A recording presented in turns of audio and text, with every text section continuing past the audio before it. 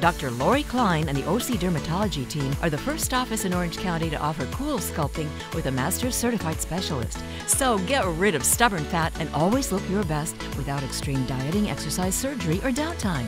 CoolSculpting is an easy same day procedure that freezes away stubborn fat. And with dual or quad sculpting, multiple areas can be treated at the same time, achieving results in half the treatment time. Contact us today. It's completely confidential and the consultation is free. CoolSculpting at ocdermatology.com.